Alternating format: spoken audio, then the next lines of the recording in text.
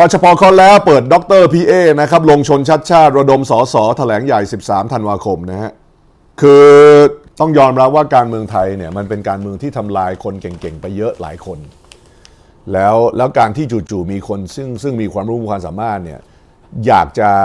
เข้ามาพังเข้ามาพังตรงนี้ด้วยอีกเนี่ยนะฮะก็ผมไม่รู้นะจะบอกว่าจะจะใช้คำว่าน่าชื่นชมหรือน่าสงสาร ผมต้องแสดงความเสียใจต่อ ต่อดรสุชาติชวี เพราะว่าประเด็นก็คืออย่างนี้ฮะประเด็นก็คือว่าไอ้ไอ้การเมืองของประเทศนี้เนี่ยนะฮะซึ่งเป็นประเทศที่การเมืองมันไม่พัฒนาเนี่ยนะฮะมันทำลายชีวิตคนฮะมันทำลายชีวิตคนฮะไอ้คนที่เก่งไม่เคยแพ้ใคร โอ้โห สุดยอด บางคนเป็นซุปเปอร์ มหาเศรษฐีเป็นนักธุรกิจที่มีความรู้ความสามารถ บางคนเป็นอาจารย์ที่โอ้โห มี accolade อย่างสุดๆมาแล้วเนี่ยนะฮะ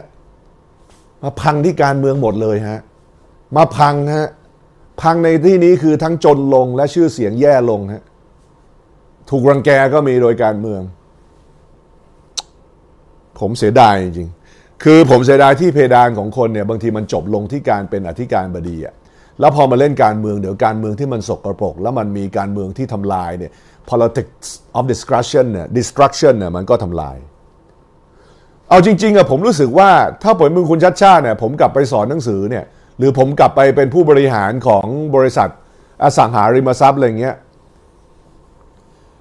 มันจะเป็นโอกาสในการที่จะประกอบอาชีพได้สบดีกว่า เพราะว่าผมพูดตามตรงว่าการเมืองประเทศนี้นะมันทำลายคนว่ะ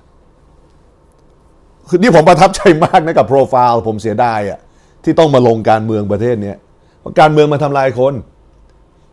และการเมืองในประเทศไทยเนี่ยคุณไม่ได้มีอำนาจในการปกครองที่เปลี่ยนอะไรได้มากนัก แล้วถึงเวลาเนี่ยนะฮะเมื่อคุณเชื่อในการเปลี่ยนแปลง เมื่อคุณเป็นนักวิชาการที่มาเพื่อสร้างความเปลี่ยนแปลงเนี่ยมันเหมือนกับเสียของอะ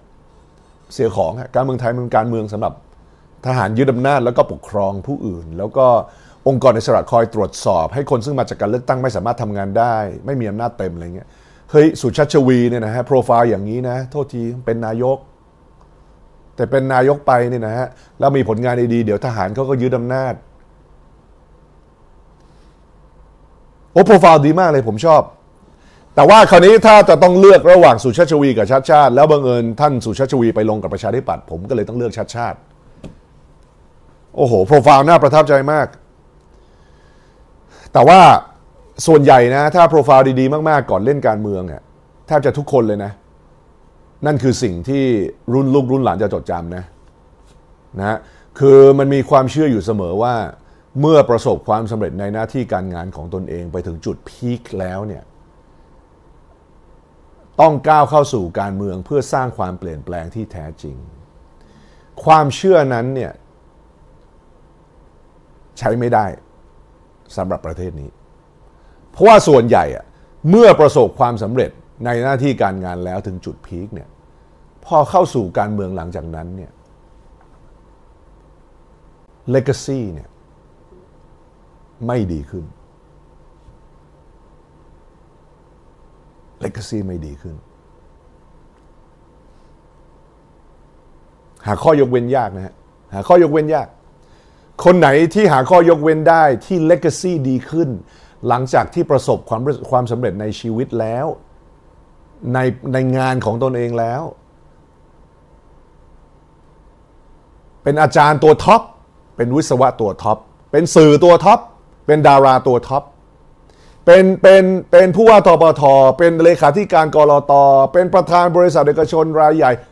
ปุ๊บปุ๊บปุ๊บปุ๊บปุ๊บปุ๊บปุ๊บเข้าสู่การเมืองแล้วเป็นไง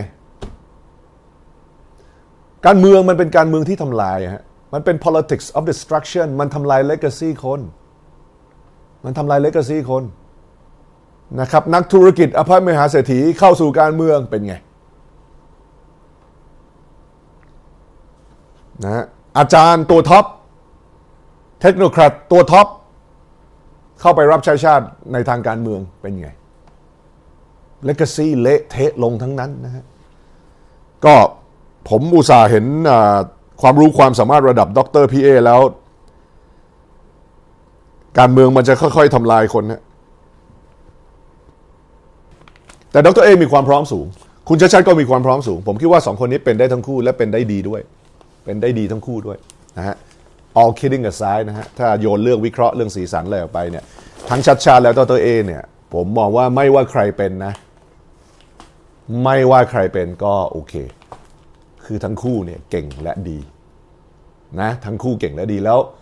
เห็นแล้วรู้สึกคืออะไรรู้ไหมพูดตามตรง นั่นนั่นคือเนี่ย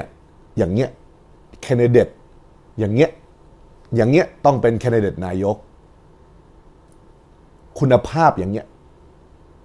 คุณภาพอย่างเงี้ยอย่างดรเออย่างดรชาติอย่างเงี้ยเนี่ยการเมืองไทยระดับชาติต้องอย่างเงี้ยคุณภาพรัฐมนตรี คุณภาพนายกต้องอย่างนี้ สเปคอย่างนี้นะสเปคต้องอย่างนี้ ชัดชาติ เอเนี่ยใช่นะฮะ